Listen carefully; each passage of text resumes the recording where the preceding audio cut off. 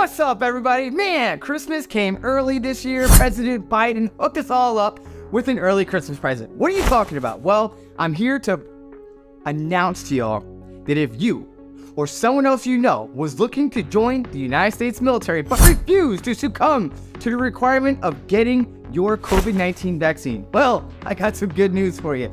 President Biden just signed the bill today in the National Defense Authorization Act, removing or rescinding the requirement of you getting your COVID 19 vaccine. So if you were looking to join and you did not want to get the vaccine, I'm here to announce to you that you no longer need to do that.